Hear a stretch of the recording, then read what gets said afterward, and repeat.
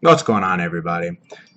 I wanted to talk a little bit about calories on a ketogenic diet. There's a lot of confusion, I think, and a lot of back and forth on whether or not you should count calories, not count calories, what is counting calories, what calories are you counting. You get the point.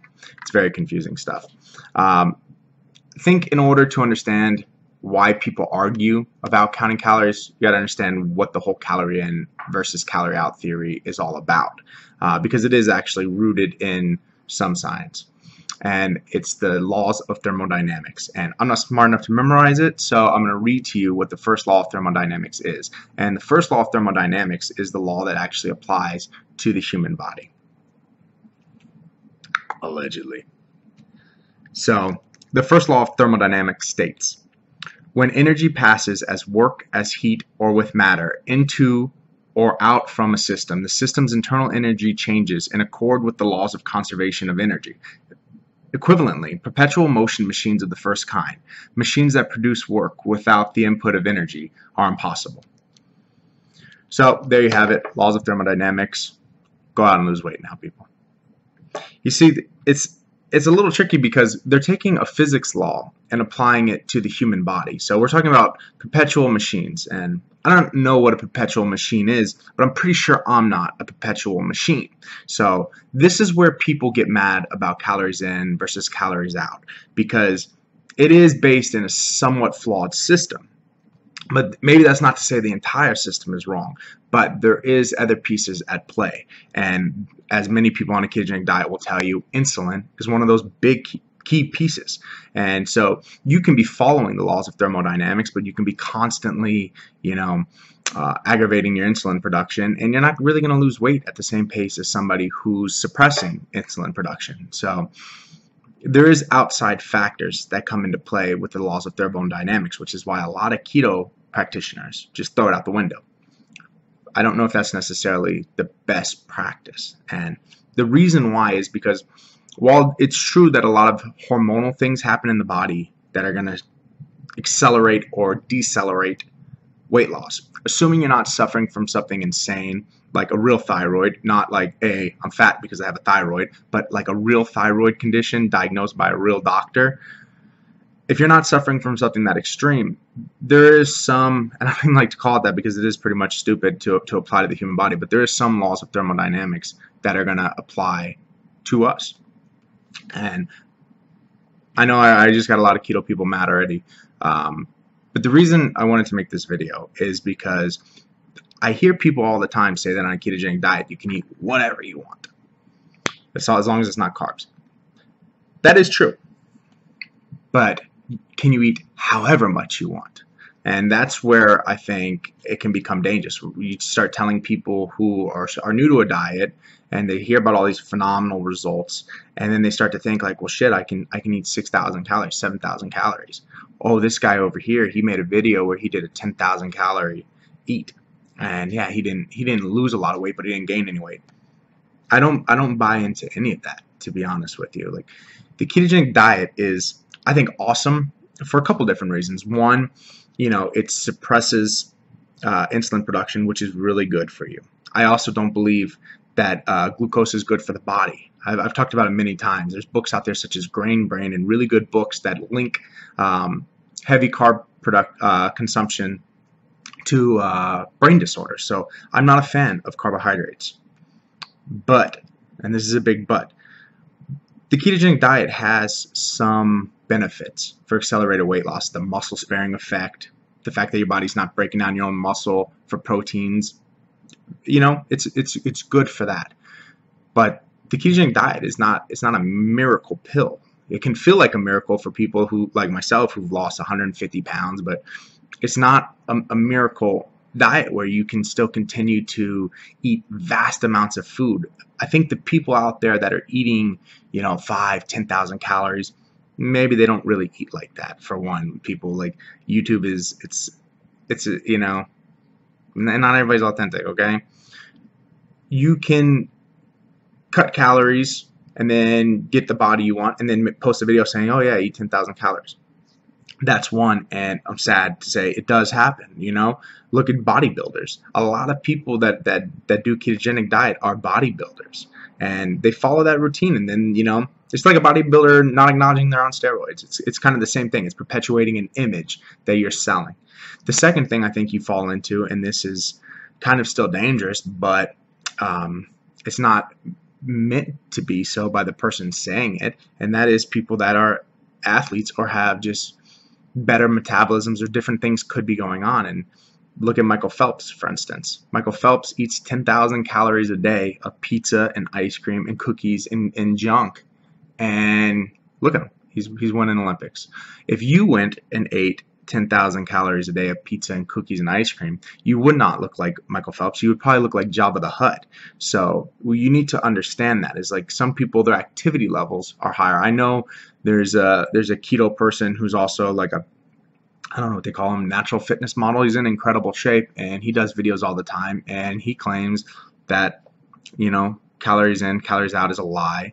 That you can eat as many calories as you want, and he did some like 30 day where he ate 10,000 calories. And a lot of keto people said, awesome, you know, I can do that too. But you don't know what he's doing in his personal life. Like, look, if you look at somebody who has a body like that, they're probably not sitting on the couch watching Game of Thrones, binge watching it. You know what I mean? They're, they're probably being very active, so they're burning calories. Um, so I wanted to address that. Another thing I wanted to address is and this actually has a term. It's called lazy keto. These are people who they don't have to count calories because they're having results. And i'll be 100% honest with you i was lazy keto for over a year. I never counted calories. And that's why i really started to, to question the law of thermodynamics more so than I do now. I thought it was complete bullshit back then, just to be 100% honest. Uh, now I kind of see there is there is something to calorie consumption, even if your calories are coming in the forms of healthy fats. And the reason I say that is when I started this diet, I was somewhere in the region of like when I stopped weighing myself, I was 390, so I probably had passed 400, and now I'm in about 264. You know, and when I was almost or over 400 pounds, I didn't count calories because my calorie consumption to maintain that weight was way higher than what I was eating. And so, and this is a common thread, and this is why I mention this is you hear people say, oh, one of the benefits of a ketogenic diet is you feel fuller faster and you know you just don't feel hungry so you don't eat you fast a lot well if this wasn't a ketogenic diet you would call that calorie restriction you know the fact that we cut calories by our own choice it's that's our own choice but we're still eating less calories than what the body needs to maintain. And that's where I say the law of thermodynamics may not be complete bullshit, is because of that. Uh, a lot of people that are losing weight on a ketogenic diet, if you looked at what they recommend the calorie consumption be and what the calorie consumption actually is, it's going to be much less. Um, I know a lot of people like that. In fact, I know somebody that just started a ketogenic diet, lost eight pounds in about 10 days, but one of the things he's been doing is fasting a lot naturally. And so you got to think like, yeah, ketogenic diet is probably to contribute to that. You're shedding some glucose, especially in the beginning. You're, you know, your body's not producing insulin, so you're burning fat at a higher rate. That's all great, but you cannot deny the fact that you're also cutting calories. And really, honestly, one of the big reasons I wanted to make this video is specifically for women because it's a little unfair, but men get away with not counting calories at a much higher rate than women. A lot of the women who stall on a ketogenic diet, it's because they're consuming too many calories. They they cut back and then they lose. And so it's not fair, but it, it is what it is. I mean, if you look at somebody who, like myself, was very overweight, they lose a lot of weight. If you're still maintaining eating at the same level, the weight loss is going to slow. And so for me, I think I was eating probably somewhere in the region of like 2,800 calories when I started, 27. I never really counted calories to be honest with you, so I don't 100% know. I can only imagine um, what it was, and I'm, I'm assuming it was somewhere in that region. And I lost a lot of weight. And then the weight loss slowed. And then, you know, I cut calories a little bit just because like I, I was just, well, I'm going to start fasting not counting calories at all, but I'm fasting. You know what I mean? And I lose weight again. And I can say, oh, it's because I'm fasting, but also I'm consuming less calories. And then so now I, I do exercises, I do I do some fasting, and I lose weight again. slower rate than what I lost weight at before, but that's to be expected because I'm I'm closer to my ideal weight. I'm probably within 30, 40 pounds of my ideal weight because of my height. And so I just wanted to to to contribute to the conversation because I feel like it can be it can be dangerous for some people. And then they start to think the diet is failing and they start to think ketogenic diet is not what it's hyped up to be. And that's typically what you see a lot. You see people either come in with the mentality of being able to eat however much they want and they don't lose weight or you see people who lost weight for a while and then they say you know what? The diet just stops working. Well that doesn't really make sense. I mean it's not like we're, we're wrecking our metabolism or we're wrecking. If anything, we're improving all of our hormonal balances and improving all of our body's function. So it doesn't make sense that the diet would just stop working. Maybe you never adjusted your calorie intake. And whether you want to call it calorie cutting or not, you can call it fasting, you can call it naturally being full. It doesn't really matter what you call it. It's, it tends to be the same general action. So that's kind of where I'm at on that. Um, I mean, you guys, I'm sure, will let me know if you don't agree, and I'm sure a lot of you will not agree because it, this conversation divides ketoers uh, a lot. But I think it is worth noting. Again, do I agree 100% with the laws of thermodynamics? I don't believe that the laws of thermodynamics should apply to the human body. I think we need to come up with a better system because I don't believe calorie counting on a ketogenic diet is the same as calorie counting um, on like a low carb, a low fat, high carb diet. It's not the same thing because you're having hormones in the human body that are being stimulated by what you eat. And that's why I don't think calorie versus calorie is a good concept either because basically calorie versus calorie says, hey, anything that is uh, digestible fiber is two, two, I think two, two calories per gram. Anything that's um, carbohydrate is four four calories for, per gram, and protein is I think like eight, or, or fat is eight. It's something like that. Look, look it up, people. I'm I'm I don't remember, but it doesn't equate each other. Like you say that, that's fine. You're at least separating per gram what calories values are, and that's something to note. Also, is on a ketogenic diet, people will say, well. How can you overeat? You know, it's very easy to overeat. Have you ever looked at how much calories are in almonds, for instance? You can eat easily eat like a thousand calories in a cup of almonds it's very easy to overeat. And if people aren't paying attention and they think they give themselves the permission to eat whatever they want, then it is very easy to overeat on a ketogenic diet. It's very, very easy.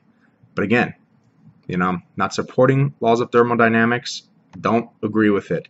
I think we need a better system that actually says, hey, calories from this food is better than calories from that food because in this system of calories in, calories out, a cupcake is equal to, you know, MCT oil, two tablespoons of MCT oil.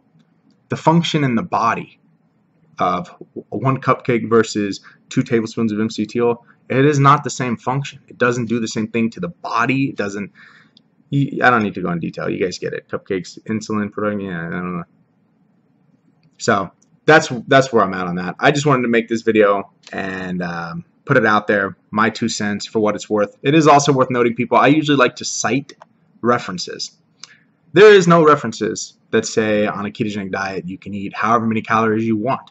Most of the all of the source material and, anybody that knows my videos or, or reads the articles on the website, they know that I only do government source stuff. I don't do Billy Bob's. Uh, nothing against Billy Bob, but I don't do just any Joe Schmo's uh, findings because that's testimonial I have a lot of testimonial stuff. I've been doing this diet for over a year and a half, and I've lost a tremendous amount of weight.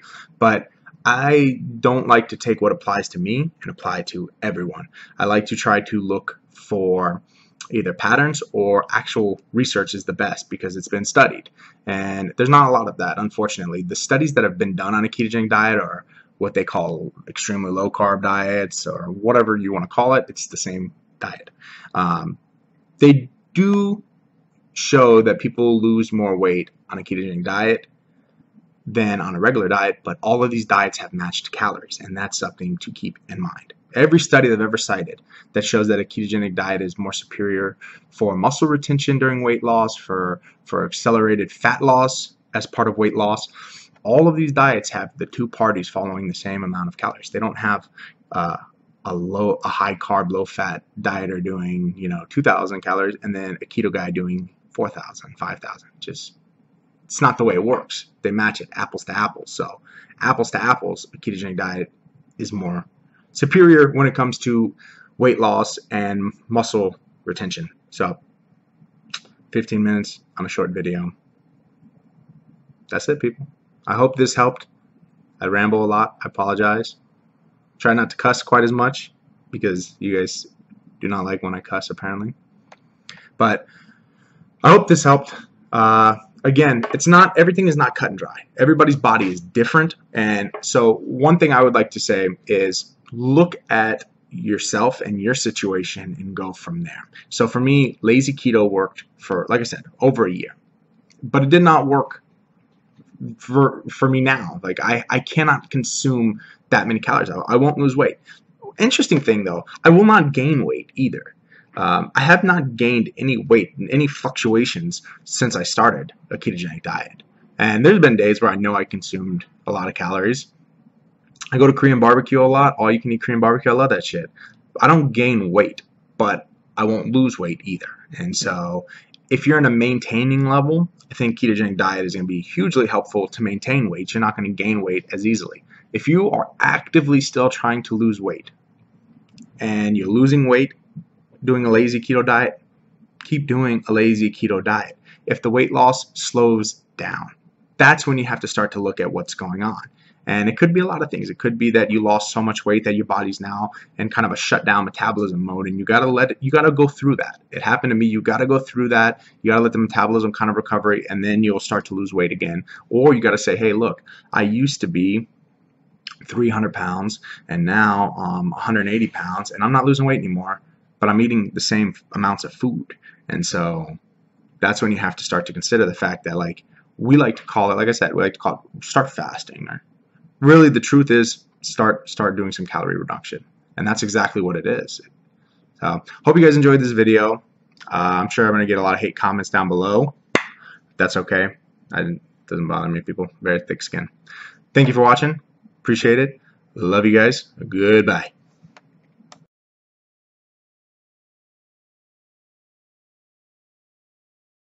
Encore video everybody. So I forgot to make a point on the video I just did. And so you get a little bonus at the end. It's like a Marvel movie. I'm give you a little something extra. This is probably the biggest point too that keto dieters claim when they claim that calories don't matter. And that is that calories of fat can't be stored. That it's almost like you just piss out all the nutrients right? All the fat whatever it is your body just wastes it right? That's the claim that if you eat excessive amounts of fat, excessive calories of fat, your body will just dispel what it doesn't use. Two things are wrong with this concept. And this is crazy too because it makes me question it. I've seen doctors say this. But all the research I've done show two things. And both pertain to losing weight on a ketogenic diet. And one is there is no such thing as just pissing out extra minerals and nutrients and stuff. On, on average, and they, they can measure this in your urine, you don't expel more than, say, 4% fat. So, where's all the fat going that you're overeating? If, it, if it's not being stored, what's happening with it? You're not expelling it. You're not just peeing and shitting out uh, the excessive amounts of fat that you eat. Maybe if you're eating MCT oil, different story, people. Um, the second point that I wanted to make is the whole point of running on ketones is to attack your body's fat stores, right? Your, your body's fat stores is it's a refrigerator. You know, you're just carrying around a backpack of nutrients all the time. Some of our backpacks are bigger than others, but your body can consume the calories. And I've, I've said in a past video how many calories on average we have. It's a it's a crazy number. Like if, if people are burning glucose, it's like 10,000, some shit like that, uh, or more. On average, you have hundreds of thousands of, of uh, calories of fat that your body can convert into ketones. Here's the problem about not regulating the amount of fat you eat. If you have a cup of water and you're, you're going to drink that cup of water, right? And when that cup of water is empty, you're going to get another cup of water and you're going to drink it, right? Makes sense.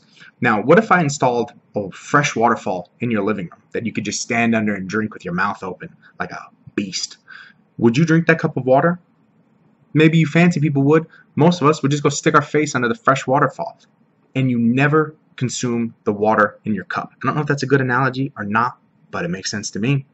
The point is, is if you have a continuous amount of fat coming in, your body is going to convert the fat you're eating to ketones and it's not going to go through the trouble of converting your fat cells to ketones because it doesn't need to, for one. It has enough ketones running around in the blood because you're eating all this fat all the time.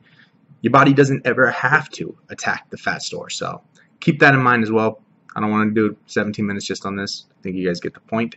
Um, that's it. Goodbye, goodbye now. For real this time, people. Goodbye.